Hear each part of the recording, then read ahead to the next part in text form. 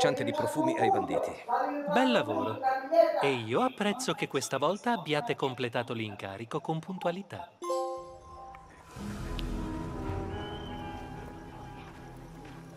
Maria